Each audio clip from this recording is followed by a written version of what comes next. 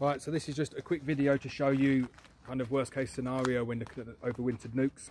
Um, I, I, already knew this one was a drone laying queen, so I've, I've, not kind of opened it up unnecessarily, but it's kind of good pointers to see what you're looking for when, uh, when you come to open them up in spring.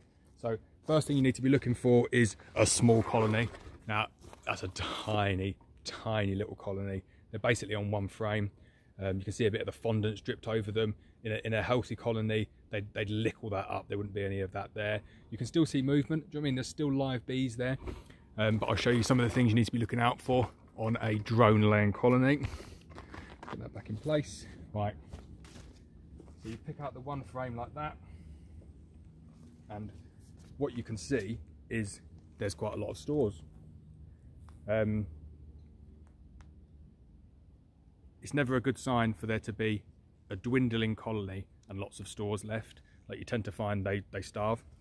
Um, and then what you're looking for on the frame there is drone brood. Now, if you can have a look in this corner here, you can see that's where the queen has attempted to kind of have a go at laying some brood. And all that she's managed to um, lay is drone brood.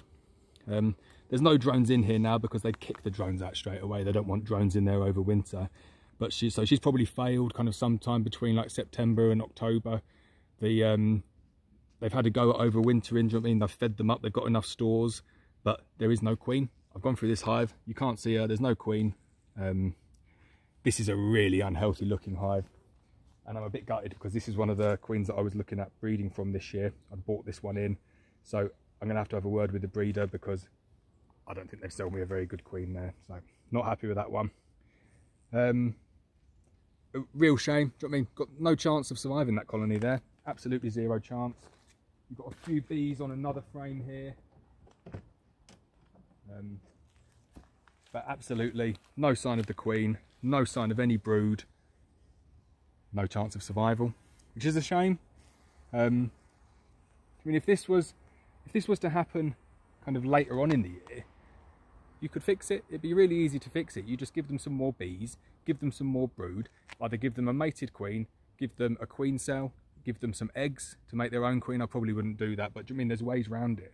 But at this time of the year, it's just impossible. The only way of saving that colony is to take the resources from another colony that the other colony need to survive.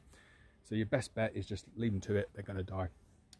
Real shame, but that's the way it is. So that's it. Just wanted to show you kind of a, a dwindling colony. Um, I'll move that one off the stand now so I haven't got to mess around with it again. Uh, and that's it. Nice one. See you next time.